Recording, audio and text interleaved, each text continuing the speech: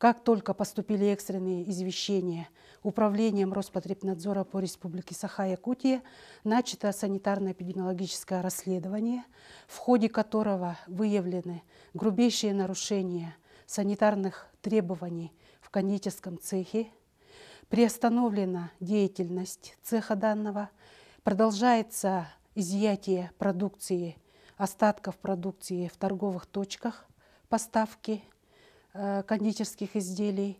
Также проведено санитарно-противоэпидемическая комиссия городского округа, город Якутск.